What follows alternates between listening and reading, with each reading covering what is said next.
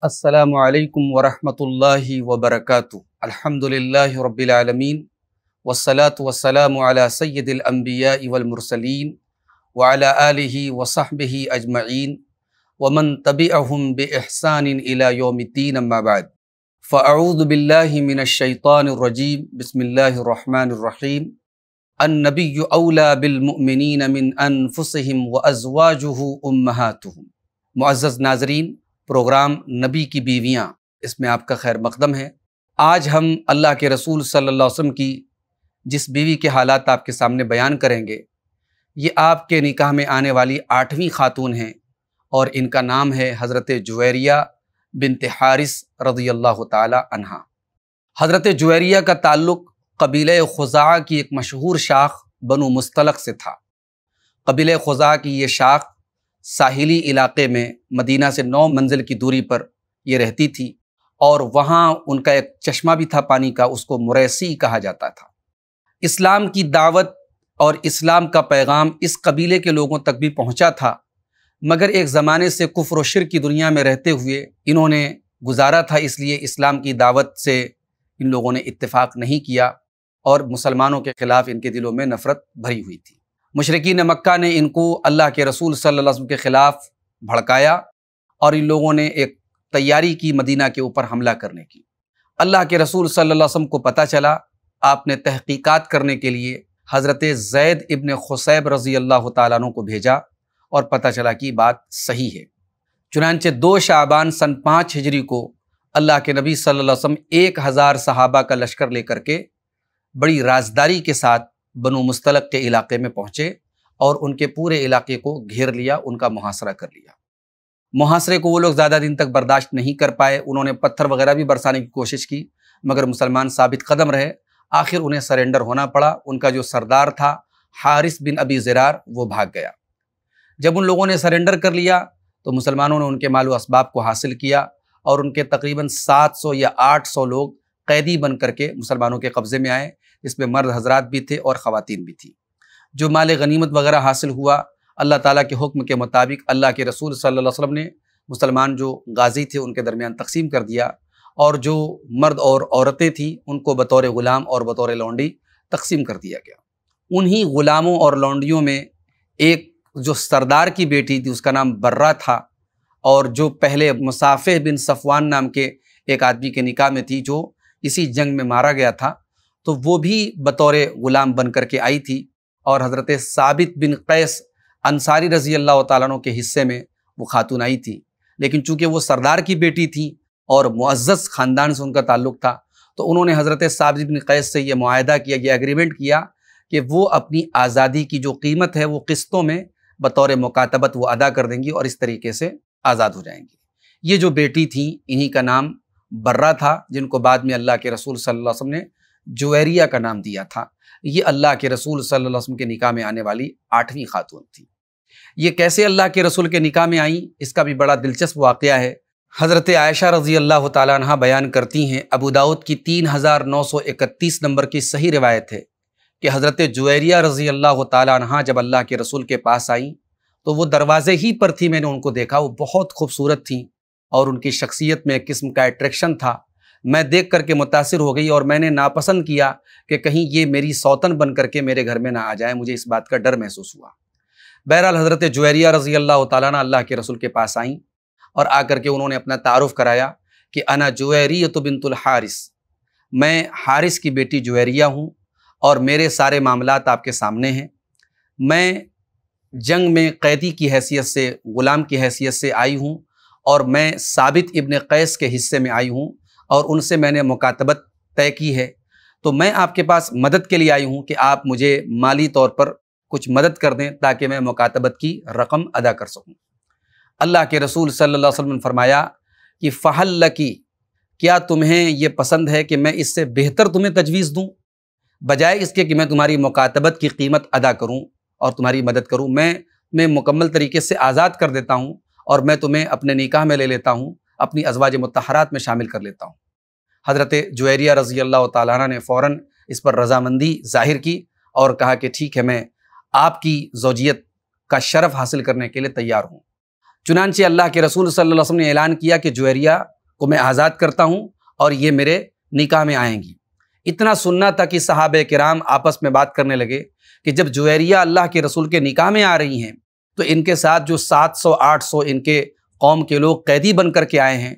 फिर वो तो अल्लाह के रसूल के रिश्तेदार हो गए, अल्लाह के रसूल के ससुराली लोग हो गए। तो उन तमाम लोगों को फिर अब हम कैद में नहीं रख सकते, उन्हें गुलाम बना के नहीं रख सकते, उन तमाम लोगों को आज़ाद कर दिया गया। हज़रत आयशा कहती हैं, मैंने किसी भी औरत को अपनी कौम के लिए इतनी बाबरकत नहीं देखा जितनी बाबरकत हज़रत जुवैरिया रज़ी अल्लाह तह अपनी कौम के लिए साबित हुई कि उनका निकाह प्यारे रसूल सल्लल्लाहु अलैहि वसल्लम से जो हुआ तो ये निकाह पूरी कौम के हक़ में आज़ादी का सबब बन गया और पूरी कौम आज़ाद हो गई। मुआज़ नाजरीन, हज़रत जुवैरिया रज़ी अल्लाह तह जब अल्लाह के रसूल के निकाह में आई तो इनका नाम जो इनके वालिद ने रखा था बर्रा नाम था इनका। बर्रा के माने नेक औरत। तो चूँकि इस नाम के अंदर एक किस्म का तजकिया पाया जाता है, खुद कोई इंसान अपने आप को नेक कहे, शरीयत की नज़र में इस बात को सही नहीं करार दिया गया है, इसलिए अल्लाह के रसूल सल्लल्लाहु अलैहि वसल्लम ने इनका नाम बदल करके जुवैरिया रखा। जब हज़रत जुवैरिया गजव बनु मुस्तलक के बाद ये कैदी बन कर के मदीना में आई थी तो इनका बाप जो था हारिस इबन अबी ज़रार। ये मदीना आया, बल्कि रास्ते ही में अल्लाह के रसूल के पास आया ताकि अपनी बेटी को छुड़ाए। तो उसके पास तीन ऊँट थे, उसने दो ऊँट वादी अकीक में एक जगह, एक पहाड़ के पीछे छुपा दिए और एक ऊँट अल्लाह के रसूल के पास लेकर के आया और कहा अः मोहम्मद वसल्लम, मैं अपनी बेटी का फिदिया लेकर के आया हूँ, आप मेरी बेटी को छोड़ दें। अल्लाह के रसूल सल्लल्लाहु अलैहि वसल्लम फरमाया अन बईरान अल्लदैनी गैब तहुमा फिल अकीक. कि वो दोनों ऊँट कहाँ हैं जिसे तुमने अकीक में छुपा करके रखा है। हारिस इब्न अबी ज़रार ने कहा कि ये बात तो मैंने किसी को नहीं बताई थी, ये आपको कैसे पता चली? इसका मतलब कि आप अल्लाह के रसूल अशहद अन्न का रसूलुल्लाह, और इस तरीके से हज़रत जुहरिया के वालिद भी मुसलमान हो गए। खुद हज़रत जुहरिया चूँकि पढ़ी लिखी थी, सरदार की बेटी थी और इस्लाम के बारे में बहुत सारी बातें सुनती चली आई थी और उन्होंने देखा था कि उनकी इतनी बड़ी कौम अल्लाह के रसूल के एक हज़ार साहबा के सामने ढेर हो गई, सरेंडर हो गई तो उनको ये बात समझ में आ चुकी थी कि दौर जाहिलियत का जो निज़ाम है वो दम तोड़ रहा है और अल्लाह के रसूल अलैहि वसल्लम जो दीन लेकर के आए हैं, वो अल्लाह का सच्चा दीन है। और इसीलिए जब वो अल्लाह के रसूल के पास आई थी तो उस वक्त तक उन्होंने इस्लाम कबूल कर लिया था।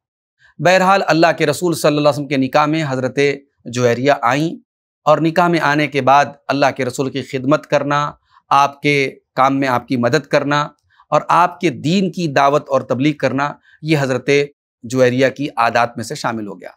हज़रत जुएरिया के अंदर इबादत की तलब और इबादत का शौक़ भी हद दर्जा था। सही मुस्लिम की रिवायत है, अल्लाह के रसूल सल्लल्लाहु अलैहि वसल्लम एक मरतबा, फ़जर की नमाज़ के बाद आप निकले, हज़रत जुएरिया उस वक्त अपने घर में जो उनका मुसल्ला था, उसमें बैठ करके वो फ़जर की नमाज़ पढ़ रही थी। उसके बाद जब दिन चढ़ गया, चाश्त का वक्त आ गया तो अल्लाह के रसूल जब घर आए तो देखा कि हज़रत जुहरिया उसी हाल में बैठी हैं। तो अल्लाह के रसूल सल्लल्लाहु अलैहि वसल्लम कहा कि अय जुहरिया तुम तब से अब तक उसी हाल में बैठी हो और अल्लाह का ज़िक्र कर रही हो? और इस दौरान मैंने चार कलमात ऐसे कहे हैं कि अगर तुम उनको कह देती तो तुमने अब तक इतनी देर तक जो इबादत की है, उसके बराबर तुम्हें इबादत का सवाब मिलता। मैंने वो कौन से चार कलमात कहे हैं? सुबहान अल्लाह व बेहमद ही अदद खल्क ही व रज़ा नफ्स ही व ज़नत अरश ही व मेदादा कलमात ही सुबहान अल्लाह व बेहमद ही मैं अल्लाह की तस्बीह बयान करता हूँ, मैं अल्लाह की हमदो सना बयान करता हूँ। अदद खलक़ ही उसकी मखलूक़ात की तादाद के बराबर। व ज़नत अरश ही उसके अर्श के वज़न के बराबर। व मिदाद कलमात ही और उसके कलमात की रोशनाई के बराबर। मोज़ नाजरीन, इस वाक़े से आप अंदाज़ा लगाएँ कि हज़रत जुएरिया रज़ी अल्लाह तह का शौक़ इबादत किस कदर था कि फ़जर बाद से वो मुसलसल इबादत में लगी हैं। यहाँ तक कि चाश्त का वक्त हो गया, दिन रोशन हो गया, लेकिन वो इबादत में और अल्लाह के ज़िक्र में लगी थी।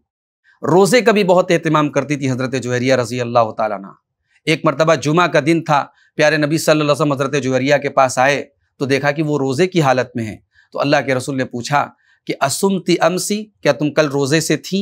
इन्होंने कहा, नहीं, मैं कल रोज़े से नहीं थी। फिर आपने पूछा कि क्या कल रोज़ा रखने का तुम्हारा इरादा है? कहा कि नहीं। तो अल्लाह के रसूल सल्लल्लाहु अलैहि वसल्लम ने फरमाया फ़अफ़ तेरी तो तुम अपना रोज़ा तोड़ दो। यानी तुम सिर्फ़ जुमा का रोज़ा मत रखो, ये सही नहीं है। या तो जुमेरात के साथ मिला करके रखो, या सनीचर के दिन मिला करके रखो। मुआज़ नाजरीन, आज हमारे दौर में और हमारे माशरे में, हमारे घरों में जिस किस्म का माहौल है क्या इबादत का ऐसा शौक़ और अल्लाह के ज़िक्र की ऐसी तलब पाई जाती है? बिल्कुल नहीं पाई जाती। अल्लाह ताला ने सूरतुल हज़ाब में जन्नती बंदों का और जन्नती बंदियों का तस्करा करते हुए फरमाया इन मुस्लिमीन वल मुस्लिमाती वलमिन वलमिनाती वलक़ानतीन वलक़ानताती वसादिकीन वसादिक़ाती वसाबरीन वसाबिराती बेशक मुसलमान मर्द और मुसलमान औरतें, मोमिन मर्द और मोमिन औरतें अल्लाह के फर्मा बरदार मर्द और अल्लाह की फर्मा बरदार औरतें। वसादिकीन वसादिक़ात और सच बोलने वाले मर्द और सच बोलने वाली औरतें। वसाबरीन वसाबिरात सब्र करने वाले मर्द और सब्र करने वाली औरतें। वल खाशीन वल खाशियात अल्लाह से डरने वाले मर्द और अल्लाह से डरने वाली औरतें। वल मुतसद्दीन वल मुतसद्दिक़ात और अल्लाह की राह में सदका और खैरात करने वाले मर्द और अल्लाह की राह में सदका और खैरात करने वाली औरतें। वस्मीन वस्मात और रोज़ा रखने वाले मर्द और रोज़ा रखने वाली औरतें। वलहाफ़ीन फ़ुरूज वलहाफ़ात अपनी शर्मगाह की हिफाजत करने वाले मर्द और अपनी शर्मगाह की हिफाजत करने वाली औरतें। वज़ाकिरीन अल्लाह कसीर वज़ाकिरात और अल्लाह का कसरत से ज़िक्र करने वाले मर्द और अल्लाह का कसरत से ज़िक्र करने वाली औरतें। ये दस सिफ़ात अल्लाह ताला ने बयान करने के बाद फरमाया अद्दल्लाहुम व अजरन अज़ीमा। अल्लाह तबारक व ने ऐसे मर्दों के लिए और ऐसी औरतों के लिए मगफ़रत तैयार करके रखी है और अजर अज़ीम तैयार करके रखा है। मुआज़ नाजरीन, हज़रत जुएरिया रज़ी अल्लाह तहा के अंदर ये दसों सिफ़ात पाई जाती थी और ख़ास तौर से ज़िक्र इलाही का जो शौक़ था, अल्लाह की इबादत का जो शौक़ था और अल्लाह को राज़ी करने का जो शौक़ था, वो बेमिसाल था। मुआज़ नाजरीन, आज ज़िक्र इलाही से हमारे घर दूर हैं। आज हमारे घर की औरतें जब सुबह करती हैं तो उनकी सुबह जो है वो म्यूज़िक और गानों से होती है। हमारे बच्चे रात में मोबाइल देख करके सोते हैं और सुबह मोबाइल की रिंग से उनकी नींद खुलती है। मेरे भाइयों हमें अपने घर के माहौल की इसलाह करने की ज़रूरत है। ज़िक्र इलाही से अपने घर को आबाद करने की ज़रूरत है। याद रखें, जिस ज़िंदगी में अल्लाह का ज़िक्र न हो, जिस इंसान की ज़िंदगी में अल्लाह की याद न हो, उस इंसान का जीना भी क्या जीना है? मसलबैतलज़ी यूस करफ़ी वलबैतलज़ी ला यूस करफ़ी ही का मसल वलमैत प्यारे नबी सल्लल्लाहु अलैहि वसल्लम ने फरमाया कि जिस घर में अल्लाह का ज़िक्र किया जाए, वो घर ज़िंदा है, और जिस घर में अल्लाह का ज़िक्र न किया जाए, वो घर मुर्दा है। मुआज़ नाजरीन, याद रखें कि ज़िक्र इलाही से एराज और ज़िक्र इलाही से मुँह फेरना, ये दुनिया तो दुनिया आखरत में भी तबाही का और बर्बादी का अंजाम इससे होने वाला है। अल्लाह ताला ने सूरह के अंदर फरमाया कि वमन आरज़न ज़िक्री फ़िन लहू मीशतन का व नहशुरहू यौमल क़ियामत आमा। कि जो मेरे ज़िक्र से मुँह मोड़ेगा, हम उसकी ज़िंदगी को तंग कर देंगे और क़यामत के दिन उसको अंधा बना करके उठाएँगे। और वो कहेगा रब्बिलमा हशर तनी आमा वक़द कुन तो बसीरा। परवरदिगार, मैं तो देखने वाला था अच्छा भला देखा करता था, तूने मुझे अंधा क्यों बना दिया? अल्लाह कहेगा कदालिका अतत का आयातूना फ़नसी तहा व कदालिकल यौम तुनसा हमारी आयतें तेरे पास आई और तूने उनको भुला दिया तो आज हमने तुझे भुला दिया नाजरीन हज़रत जुएरिया की ज़िंदगी से एक बहुत बड़ा सबक मिला कि ज़िक्र इलाही और इबादत का शौक़ हमारे घर की ख़वातीन में होना चाहिए हज़रत जुएरिया रज़ी अल्लाह तहा ने अल्लाह के रसूल सल्लल्लाहु अलैहि वसल्लम से मुख्तलिफ़ हदीसें भी सुनी हदीस के ज़ख़ीरे में तकरीबन पाँच अहादीस आपसे मरवी हमें मिलती हैं हज़रत जुएरिया का इंतकाल सन छप्पन हिजरी में हज़रत अमीर मुआविया के दौर में होता है और हज़रत मरवान इबन हकम जो मदीना के गवर्नर थे, उन्होंने उनकी जनाजे की नमाज़ पढ़ाई। मुआज़ नाजरीन, हज़रत जुएरिया रज़ी अल्लाह तहा के बाद प्यारे नबी सल्लल्लाहु अलैहि वसल्लम के निकाह में जो अगली बीवी आई, वो हज़रत उम हबीबा बिनत अबी सुफियान रज़ी अल्लाह तहा थी। इनका असल नाम रमला था। ये अबू सुफियान की बेटी थी। इनकी माँ का नाम था सफ़िया बिनते अबिलास, जो हज़रत उस्मान गनी की सगी फूफी थी। हज़रत उम हबीबा का निकाह उबैदुल्ला इब्न जहश के साथ हुआ। ये अल्लाह के रसूल सल्लल्लाहु अलैहि वसल्लम की फूफी हज़रत उमैमा के बेटे थे। गोया अल्लाह के रसूल के फूफीजात भाई थे और ये असाबिकून अव्वलून में से थे, बिल्कुल शुरू में इस्लाम लाने वालों में से थे। हबशा की तरफ़ जब सहाबा ने हिजरत की तो उसमें बनु अमैया के चार लोग गए थे।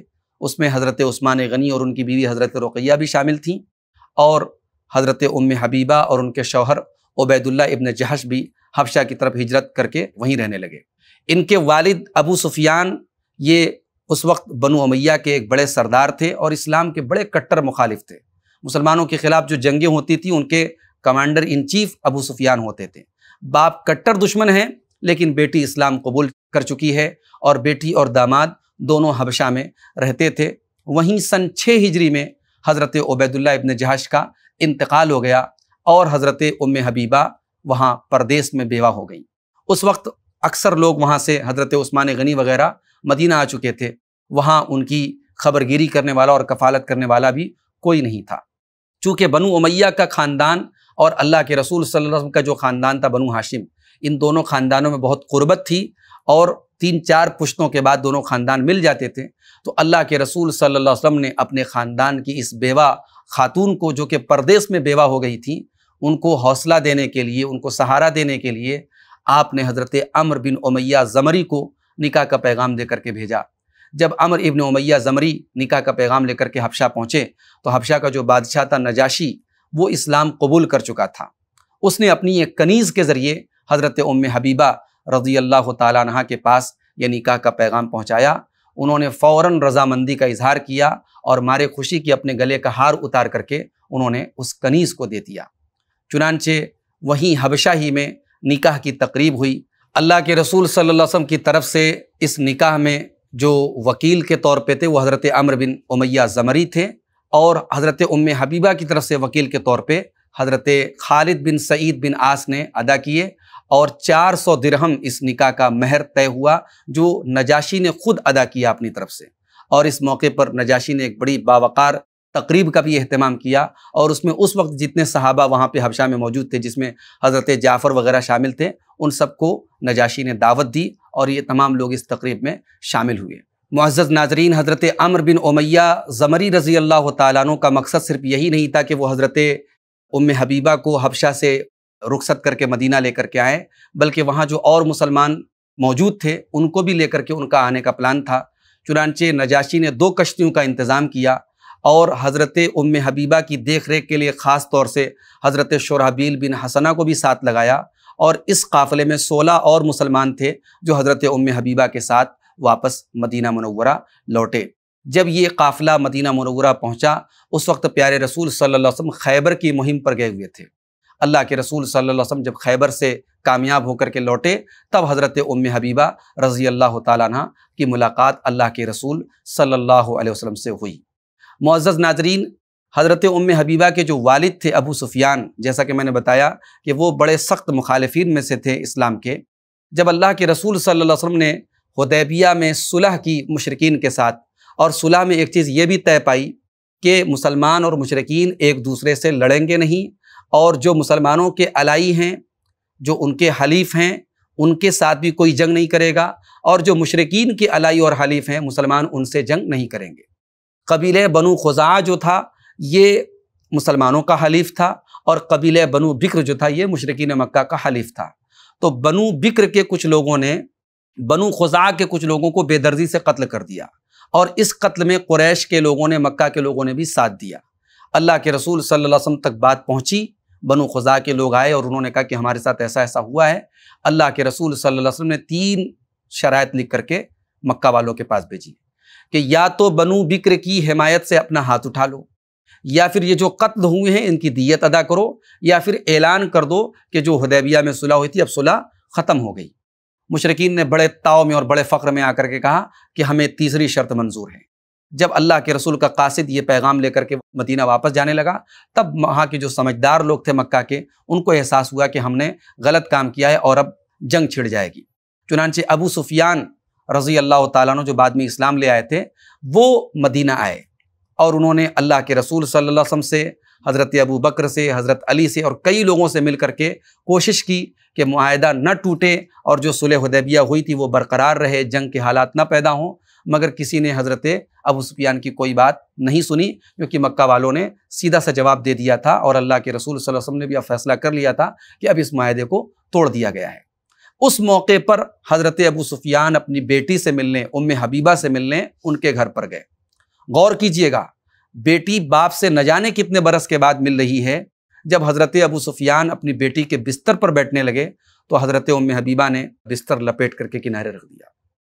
बाप को बड़ा गुस्सा आया। बाप ने कहा कि ये बिस्तर मेरे लायक नहीं है या मैं इस बिस्तर के लायक नहीं हूँ। हज़रत उम हबीबा ने कहा कि आप एक मुशरक आदमी हैं और ये बिस्तर नबी का बिस्तर है, आपको इस बिस्तर पर बैठने का कोई हक नहीं है। नाजरीन, हज़रत अबू सुफियान को बहुत गुस्सा भी आया वक्ती तौर पर उन्होंने कहा कि तू मेरे बाद बहुत बिगड़ गई है उन्होंने नाराज़गी का इजहार किया। मगर नबी की मोहब्बत में हज़रत उम हबीबा ने कोई परवाह नहीं की और अपने बाप को अपने नबी के बिस्तर पर बैठने से इनकार कर दिया। नाजरीन, हज़रत उम हबीबा रज़ी अल्लाह तह की सीरत का एक पहलू ये भी है कि एक तो वो अपने बाप और अपने भाइयों से पहले ईमान लाई तो उनके इस ईमान का और दीन के लिए उनकी कुर्बानियों का असर उनके पूरे ख़ानदान पर पड़ा। बाद में उनके वालिद भी ईमान लाए, उनके भाई हज़रत माविया भी ईमान लाए उनके एक भाई यजीद भी नबी सुफियान भी ईमान लाए। और फिर इस पूरे ख़ानदान ने इस्लाम के लिए बड़ी कुर्बानियाँ दी। ख़ास तौर से हज़रत यजीद बिन नबी सुफियान जो थे, हज़रत माविया के बड़े भाई थे, मुल्क शाम की फतूहत में उनका बड़ा किरदार था। और फिर उनके इंतकाल के बाद हज़रत अमीर माविया रज़ी अल्लाह तु ने मुल्क शाम का पूरा इलाका संभाला। हज़रत उमर फ़ारूक के दौर में भी और फिर बाद में हज़रत उस्मान गनी के दौर में तो पूरा मुल्क शाम हज़रत अमीर माविया के अंडर में आ गया और हज़रत माविया ही वो एक पहली शख्सियत है जिन्होंने हज़रत उस्मान गनी के दौर में सन सत्ताईस हिजरी में इस्लाम का पहला बहरी बेड़ा रवाना किया और समंदर के रास्ते से इस्लामी फ़ौज दुश्मनों का मुकाबला करने के लिए रवाना हुई। तो ये पूरा ख़ानदान जो इस्लाम के ख़िलाफ़ था, नबी सल्लल्लाहु अलैहि वसल्लम के ख़िलाफ़ था, इस पूरे ख़ानदान के इस्लाम की तरफ़ मायल होने में, इस्लाम कबूल करने में और फिर इस्लाम के लिए बेमिसाल कुर्बानियाँ देने में बहुत बड़ा रोल हज़रत उम हबीबा का भी है। हज़रत उम हबीबा रज़ी अल्लाह ताली बहत्तर साल की उम्र में अल्लाह को प्यारी होती हैं, इंतकाल के पहले अपनी सौकनों को बुलाती हैं और अपना कहा सुना माफ़ करवाती हैं। इबादत का बे इंतहा शौक़ था, अल्लाह के रसूल वसल्लम से बे इंतहा मोहब्बत थी। कई हदीसें हज़रत उम हबीबा ने बयान की हैं। तकरीबन एक सौ पैंसठ हदीसें हज़रत उम हबीबा रज़ी अल्लाह तह ने बयान की हैं, उम्मत तक पहुँचाई हैं।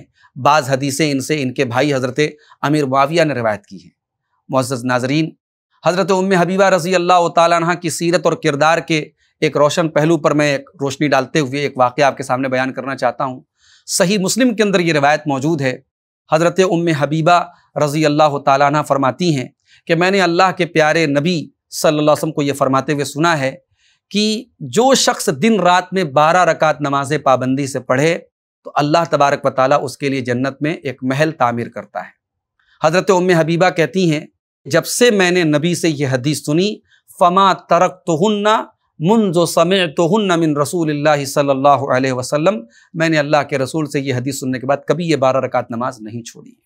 अंदाज़ा लगाएँ, एक खातून हैं, एक औरत हैं, मगर अल्लाह के दीन पर अजीमत का, अल्लाह के दीन पर इस्तकामत का कैसा नमूना पेश कर रही हैं कि रसूल से एक हदीस सुनी तो कह रही हैं कि ज़िंदगी भर में उस पर कायम रही। आज हमारा हाल ये है, हम एक कान से सुनते हैं, दूसरे कान से उड़ाते हैं। रसूल से मोहब्बत के हज़ारों दावे हमारे पास हैं, मगर रसूल की सुन्नतों और रसूल के फरमान पर अमल करने में हम ज़ीरो हैं। हज़रत उम हबीबा हमें मिसाल पेश कर रही हैं।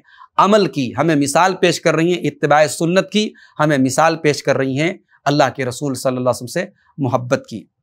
उम्म हबीबा की ज़िंदगी से अगर हम देखें, हमें कौन कौन से इसबाक मिलते हैं? सबसे बड़ा सबक तो ये मिला कि बाप और पूरा ख़ानदान इस्लाम का बागी और इस्लाम के ख़िलाफ़ है और नबी के ख़िलाफ़ बरसर पैकार है, मगर अल्लाह की ये बंदी, ईमान वाली, इस्लाम वाली बनती है और अपने शौहर के साथ हिजरत करके हफ्शा चली जाती है। अपने दीन के लिए, अल्लाह के लिए वतन छोड़ देती है। हज़रत उम हबीबा रज़ी अल्लाह ताली की ज़िंदगी से दूसरा सबक हमें ये मिला कि जब कोई खुशखबरी मिले, कोई अच्छी खबर मिले तो अच्छी खबर लाने वाले को कोई तोहफ़ा दे दिया जाए। हज़रत उम हबीबा के पास, जब अल्लाह के रसूल के निकाह का पैगाम आया, उन्होंने अपने गले का हार उतार करके कनीस को दे दिया। तीसरा सबक हज़रत उम हबीबा रज़ी अल्लाह तह की ज़िंदगी से ये मिला कि माँ और बाप और रिश्तेदारों की अहमियत और मोहब्बत अपनी जगह है, मगर जहाँ मसला दीन का आ जाए तो वहाँ इन रिश्तों को एक तरफ़ रखा जाए और दीन के मामले में कोई कॉम्प्रोमाइज़ ना किया जाए। अपने बिस्तर पर हज़रत उम हबीबा रज़ी अल्लाह ताली ने अपने बाप को बैठने नहीं दिया, क्योंकि ये रसूल का बिस्तर था और बाप उनका मुशरक था। और एक चीज़ ये भी पता चली कि घर की अगर खातन के अंदर दीनदारी पैदा हो जाए तो उसका बहुत बड़ा इम्पैक्ट और असर घर के मर्दों पर पड़ता है, बाप पर पड़ता है, भाई पर पड़ता है, शौहर पर पड़ता है। अगर हम अपने घर की बच्चियों को दीनदार बना दें तो इन पूरे एक परिवार को हम दीनदार बनाएँगे। आइए हम अल्लाह से दुआ करें, रब्बुल हमें अजवाज मतहरात की, अल्लाह के रसूल की बीवियों की, सीरत से इसबाक और दुरूस और जो नसीहतें मिलती हैं, उन पर अमल करने की तोफ़ी फरमाए। आमीन। वसलम वरहमल वबरक समाज से बुराई मिटाने की कोशिश में आई प्लस टीवी का साथ दें। यूपीआई के ज़रिए डोनेट करने के लिए डोनेट इल्म एट द रेट आई पर ट्रांसफ़र करें।